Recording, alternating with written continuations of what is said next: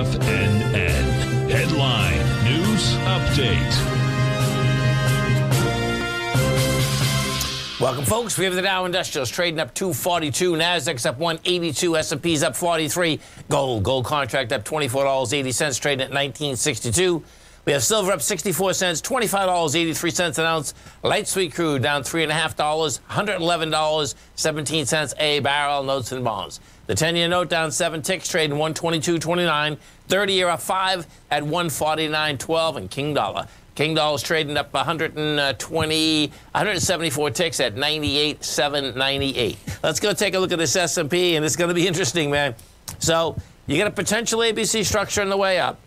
Bottom line, you, are going to need the, the, the B point on this is 450, uh, 58. I would, I don't think we're going to get there today at all. Now that being said, you have a huge contraction of volume out here today. Yesterday, you know, we went sideways to lower 79 million. You only have 48 million right now, 41 million.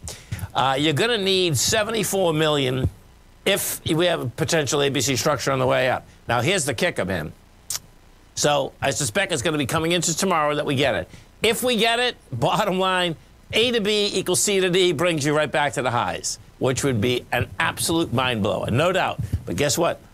It's going to be pretty cool because when you do the ABC structures, we're going to have a huge heads up as to how it comes into that B point. NDX 100, we might have the action today. Now, this is what's going to get interesting with the MD, NDX.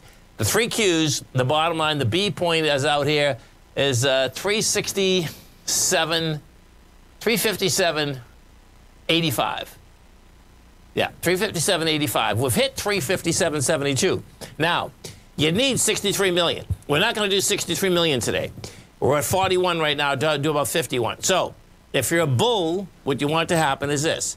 You want to stay kind of right where you are right now. You can go up another, you know, point, but you do not want to go to the 357.85. If we close at 357, let's say 50, your probability goes much higher, man. That's going to blow it away. That's how this is set up. Because I expect what you're going to see is that we're going to get some kind of a you know, small expansion of volume as we come into the close. Why? Because this acceleration up, folks, has been so fast that, you know, some shots are going to have to start closing here. Stay right there, folks. Come right back.